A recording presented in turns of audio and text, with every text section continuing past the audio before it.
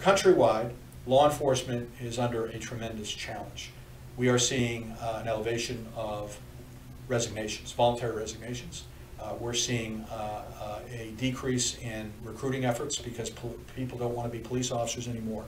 What that is creating is a more reliance on private security to supplement those efforts because public safety right now is, um, in many cities, they're, they're overrun.